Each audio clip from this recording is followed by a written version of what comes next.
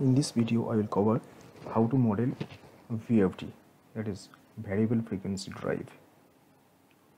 VFD is used based on the process requirement when as per the process requirement when it is required to to monitor the um, speed of the drive when it is required to operate the drive at different speeds based on the process requirement.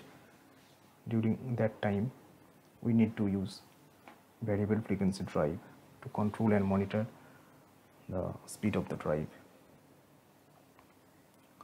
This is the main purpose and also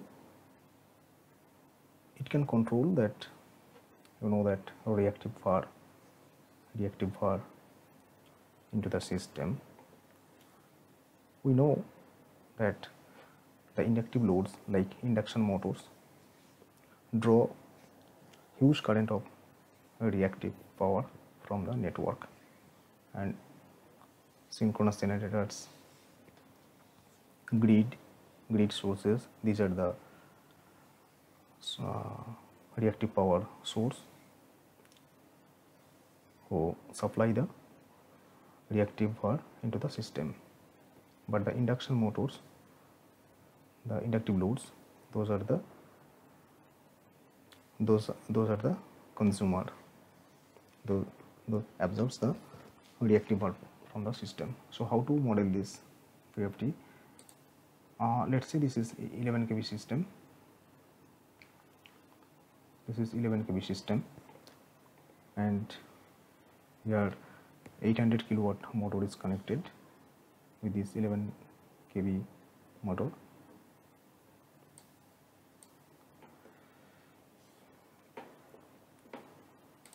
let's add the same same motor here. 800 kilowatt and I want to add variable frequency drive here okay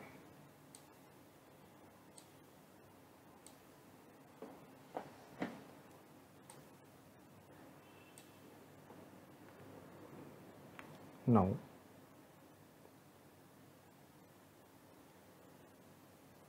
okay let's use a switch here.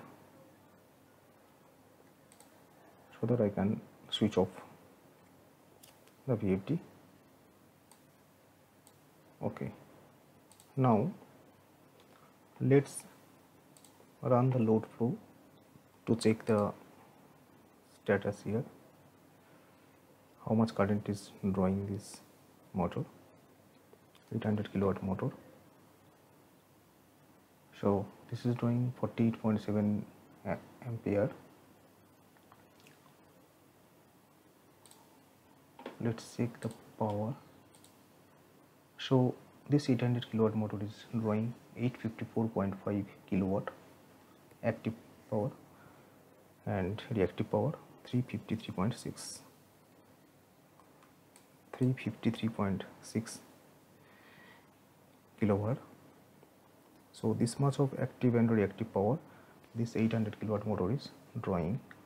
And this reactive power 353.6 kilowatt it is drawing from the system. It is drawing from the system. In turn this reactive power is supplied by the source grid. Supplied by the source grid and this model is drawing 353.6 kW. Now if I add this VFD, let's model this VFD, assign the parameters. Go to the editing page. Here kilowatt show. Here the motor this VFD this is the output portion this is VFD output and this is VFD input side so keep in mind that in the output side this VFD output should be such that minimum this much of power should be supplied this much of power or reactive power should be supplied by this VFD. So this should be minimum 800 kilowatt because the motor rating is 800 kilowatt itself.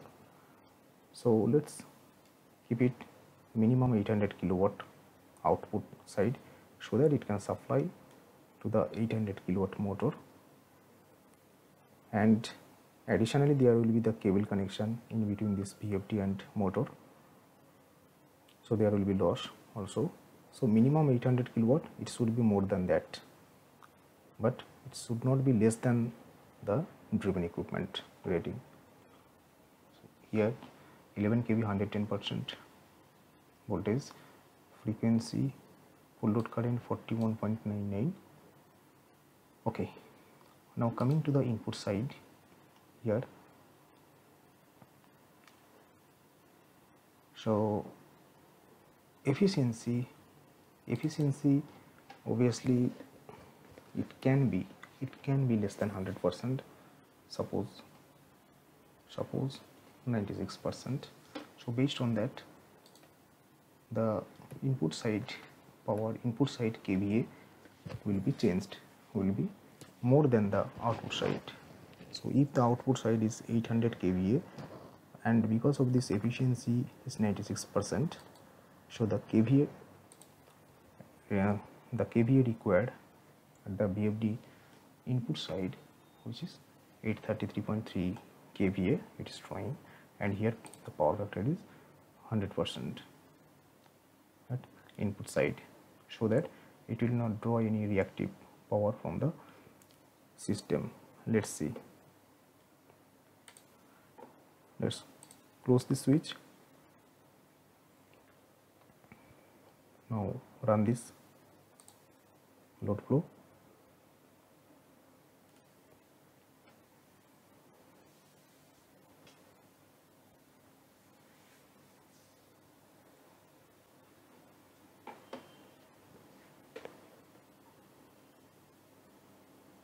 okay.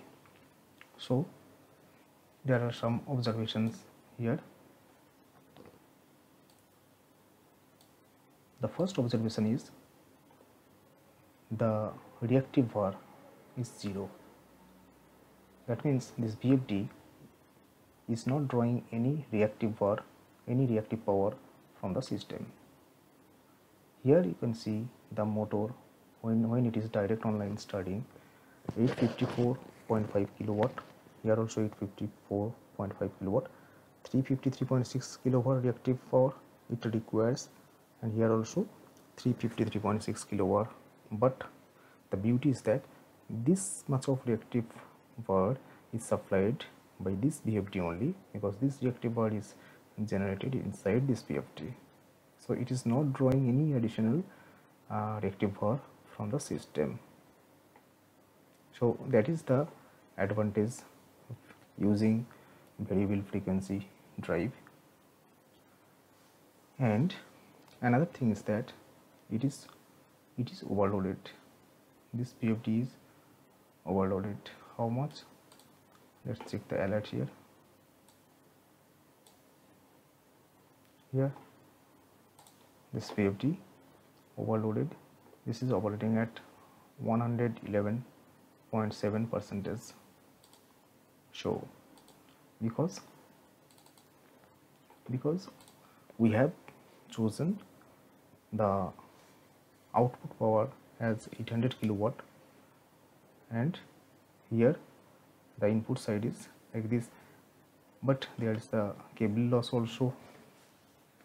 And this is the minimum power. This is the output side VFD output terminal minimum power which is 800 kilowatt. Suppose if it is 850 kilowatt output power so that it can supply to this 800 kilowatt motor. Let's check.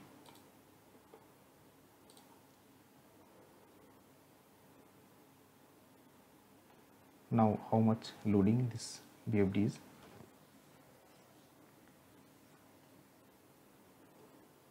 okay. Still overloaded but percentage is reduced. Previously it was 111.7 percentage now it is 100.9 percentage it's operating it is more than 100 percent. That's why it is giving alert. If this rating is 900 kilowatt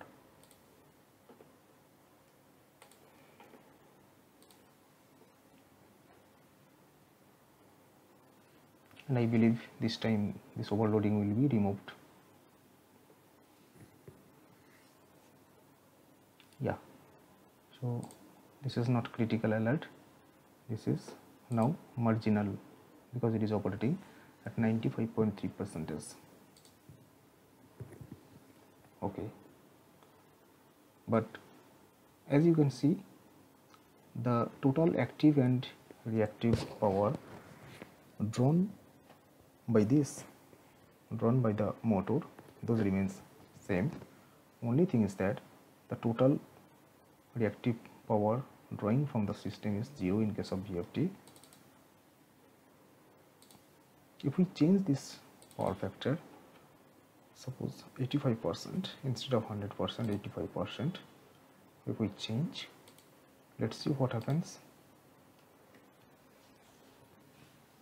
So previously it was zero reactive power drawing from the system network. And now because of the reduction in power factor now it is drawing now it is drawing 551.6 kilowatt reactive power from the system. Because we have changed the power factor here. If it is 95 percent let's see. This reactive power consumption will be reduced to 92.6 kilowatt but during direct online study it is drawing 351.7 kilowatt so we should keep we should keep this out this input terminal power factor x 100 percentage so that it will not draw any reactive power from the power system network. The entire reactive power will be supplied by this VFD only. So this is now 0 and one more point I want to uh, tell you here. Short circuit contribution to output terminal this K E factor this is 150 percent. You can change it 110% or 120% you can define. Based on that short circuit current will be calculated by K into full load current. So it will be 70.86 ampere. If it is 150% K value if you change you reduce this one then the short circuit contribution will also be less. Here let's run the short circuit case also. Let's see.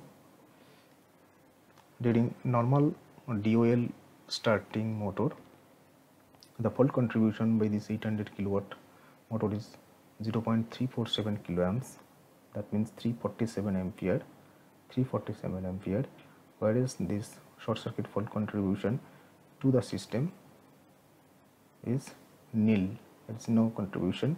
Only here here. Is 0.347 it is limited up to this VFD only. There is no fault contribution to the system. So here 0.078 kiloamps 0.347 kiloamps if you change this k value suppose this is 110 percent. Let's run this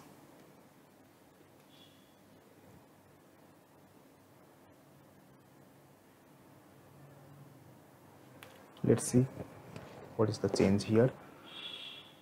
The fault current contribution will be changed. Yeah here this is 0.057 kiloamps. 0.057 kiloamps. So this is reduced. This is reduced.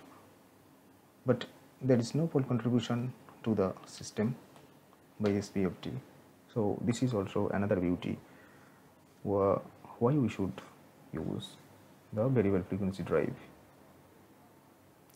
So hope there is some value addition related to uh, VFD